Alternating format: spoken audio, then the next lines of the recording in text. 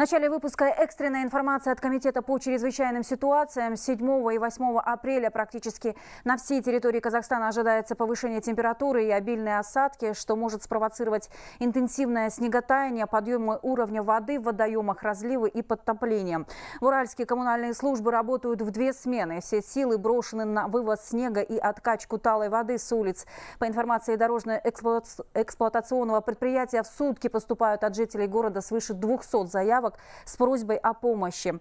Сейчас на прямую связь со студией выходит Бутагос Базарбаева. Она находится в одном из затапливаемых микрорайонов. Бутагос, добрый день. Ждем подробности о ситуации в городе.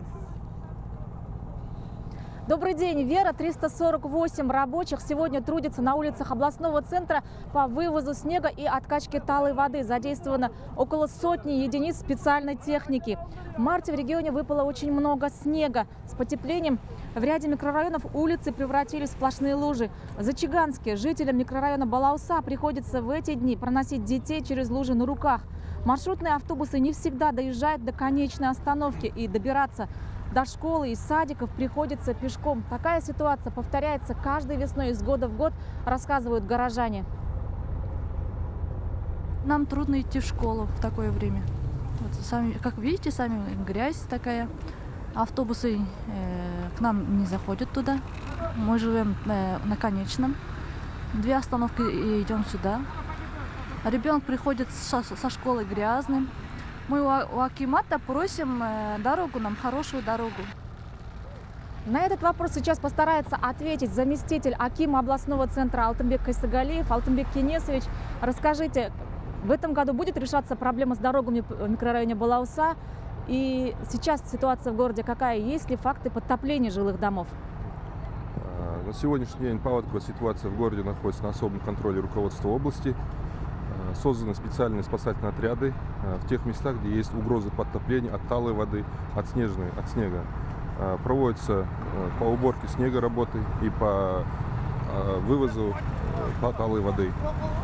Создано 130 бригад, 500 человек работает ежедневно и 130 единиц техники работают в круглосуточном режиме.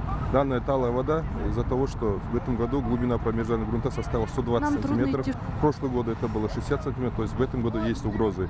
В данных местах есть работа ведется и находится на особом контроле. Касательно микрорайона Болоса, э, данные работы будут выполнены в ближайшие годы, но в тех местах, где это основной маршрут, автобусы маршрут ездит.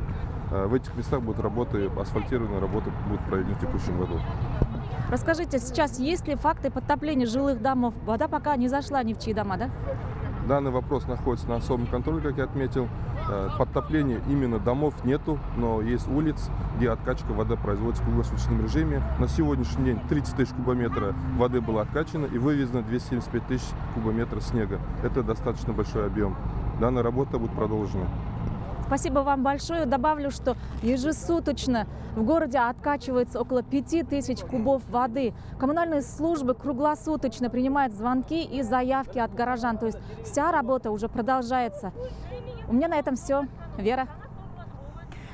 Бутагос, э, спасибо большое. Бутагос Бузарбаева о ситуации в Уральске. Там, чтобы избежать больших потоплений, вывозят снег и откачивают талую воду с улиц. Мы продолжим следить за ситуацией в городе.